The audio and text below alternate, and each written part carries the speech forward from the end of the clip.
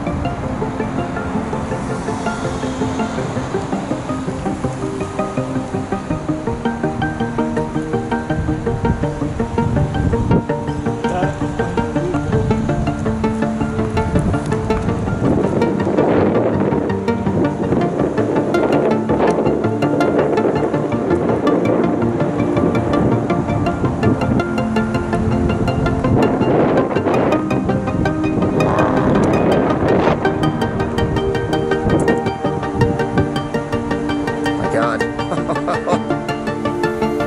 this is the most beautiful thing I ever seen in my life. I'm gonna put the camera away there actually so I can just enjoy this. Like, I got enough footage that you got an idea of what's going on here, but I just gotta enjoy being a part of this actually without the camera on.